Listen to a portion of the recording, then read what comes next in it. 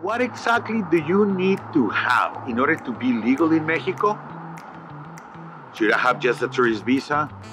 Should I become a Mexican? I'm gonna tell you in detail what exactly do you have to do in order to be legal in Mexico. Ready? Let's go to the classroom. Vámonos! Welcome to this chapter of the last one of the legal residency. Remember how many conditions of residence we have? We have tourist visa, temporary residency, permanent residency, and uh, Mexican naturalization. In Baja California, there's two offices. Which office you have to do your Mexican naturalization? You have to do it in Relaciones Exteriores, exterior relationships. It's like the Secretary of State. Imagine you are in Baja California, then the two places to go where they are located, the Secretaría de Relaciones Exteriores is in Mexicali or in Tijuana. What do you have to present to the Secretaría de Relaciones Exteriores, Secretary of State?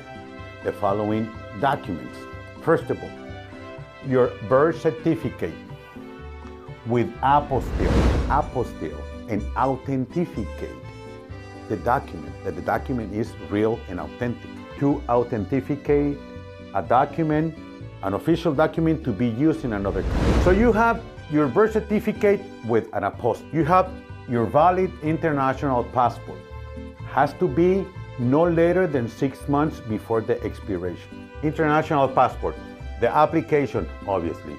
A non-criminal record letter from the state, the state police department. They will issue you a non-criminal letter record from the state. Then, flujo migratorio. What's a flujo migratorio? Flujo migratorio is the history of your legal residency for the previous five years. Remember that in order to do the, natural, the Mexican naturalization, you have to have at least five years of legal residency. Remember? And then the flujo migratorio is so they run your history, and it's good it's like a plus if you give that document to the Secretaría de Relaciones Exteriores, to the Office of the Naturalization Paperwork. Why? Because it's going to be very helpful for them.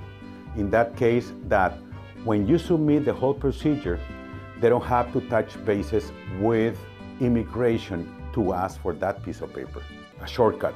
And then the last one is the non criminal record letter, but federal. Now, that letter you have to go to Mexico City. You have to fly to Mexico City. Doesn't have any cost, but you have to present your legal residency, your card, your permanent or resident card, plus your international passport. You're gonna go in person and they're gonna give you that letter.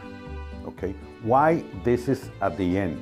Because this one, it has a limit of validation. Something very, very, very extremely important that I'm going to tell you.